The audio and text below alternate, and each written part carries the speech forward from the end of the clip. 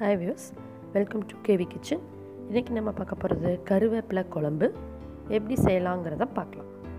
தேவையான இன்க்ரீடியன்ஸ் கருவேப்பிலை ஒரு கப் உளுந்து துவரம்பருப்பு ரெண்டு டேபிள் ஸ்பூன் மிளகு ஒரு டீஸ்பூன் வரமிளகா ஒன்று இல்லைன்னா ரெண்டு கடுகு கொஞ்சம் பெருங்காயத்தூள் கொஞ்சம் சின்ன வெங்காயம் பதினஞ்சுலேருந்து இருபது எடுத்துக்கோங்க.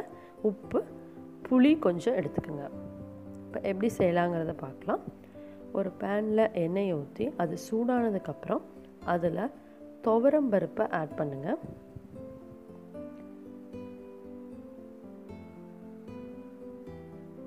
அதோட எடுத்து வச்சுருக்க வரமிளகா மிளகு இதையும் ஆட் பண்ணி நல்லா ஃப்ரை பண்ணுங்கள்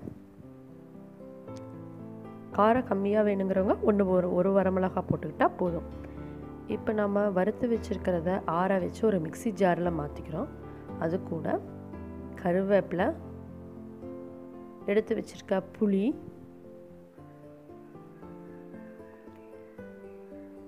உப்பு கொஞ்சம் போட்டு பேஸ்ட்டாக அரைச்சிக்கணும்.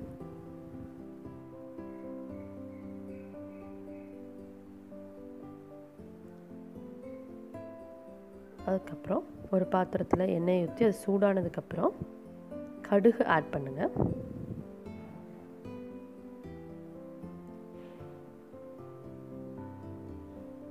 கடுகு வெடிச்சதுக்கப்புறம் கொஞ்சமாக பெருங்காயத்தூள் ஆட் பண்ணுங்கள்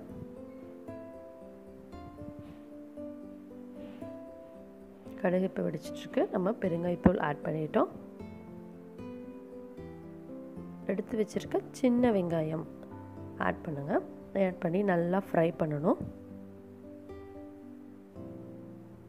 நல்லா ஃப்ரை பண்ணிவிட்டு நம்ம அரைச்சி வச்சுருக்கிற பேஸ்ட்டை ஆட் பண்ணுங்கள் ஆட் பண்ணி தேவையான அளவு தண்ணி ஊற்றி ஃபஸ்ட்டே உப்பு கொஞ்சம் போட்டிருக்கோம். அதனால் கம்மியாக உப்பு போட்டால் போதும். டேஸ்ட் பார்த்துட்டு போட்டுக்கலாம். இப்போ இந்த கருவேப்பிலை சாப்பிட்றதுனால என்ன பெனிஃபிட்னு பார்த்தோம்னா நமக்கு தெரியும் கருவேப்பிலை சாப்பிட்றதுனால முடி நல்லா வளரும். டைஜஷன் ப்ராப்ளம் இருந்தால் சீக்கிரம் சரியாகும். ரத்த சோகை நோய் இருந்ததுன்னா குணமாகி ரத்தம் நல்லா ஓடும். குமட்டலுக்கு சரியான ஒரு மருந்து கருவேப்பிலை. தோல் நோய்கள் சரியாகும். கண் பார்வையும் ரொம்ப சரியாகும். இப்போ பார்த்தீங்கன்னா ஓரளவுக்கு கொதிக்க ஆரம்பிச்சிருச்சு. ஒரு ஃபைவ் மினிட்ஸ்க்கு மீடியம் ஃப்ளேமில் வச்சு கொதிக்க விடுங்க. அதிகமாக வைக்க வேண்டாம். இப்போ ரெடி ஆகிடுச்சு இது பிளைன் ஒயிட் ரைஸ் கூட சாப்பிட்ட சைட் டிஷ் இந்த வீடியோ உங்களுக்கு பிடிச்சிருந்தா சப்ஸ்கிரைப் பண்ணி ஷேர் பண்ணுங்கள் மறக்காமல் பெல் பட்டனை